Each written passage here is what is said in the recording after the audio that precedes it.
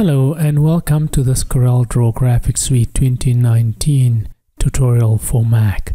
In this tutorial we will explore the redesigned Objects Inspector. For Illustrator users this is similar to working with the Layers panel. Should you want to explore on your own you can use the same artwork from the Discover tab. Let's close the welcome screen. I have the artwork open already. I'm going to head to the Objects Inspector and you'll notice that we have three icons off the top. We can look at just pages or just objects and layers or both. You'll see that Corel gives us very rich visual feedback in the Objects Inspector.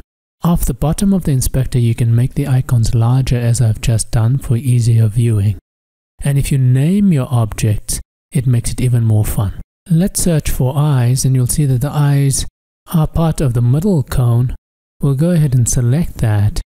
Let's zoom in so you can see it better. I'll toggle the eyeball on the object inspector on and off. So we're getting real-time feedback. Again, the search capability is unique to Corel. Let's then go ahead and do another search. In this case, what we'd like to do is we'd like to change the color of the middle cone. Let's zoom out so we can see the entire artwork and then I'll do a search for ice cream. Didn't even need to do the full word.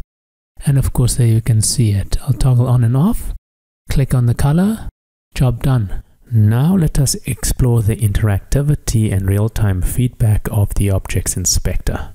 For Illustrator users, you should feel right at home because it's very similar to the Layers panel. Let's go ahead and select the three cones. We'll go ahead and group them together and we'll change the name of that group set to just cones. We're going to rotate this group, but before we do that, let's go ahead and hide the outlines by clicking on the eyeball alongside that object. We'll go ahead and select the pick tool and click on the object twice. And then of course, holding the command key in we're simply going to go ahead and rotate these objects.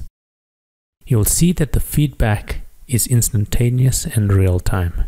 Let's head to the bottom of the Objects Inspector and make the icons larger so you can see this better.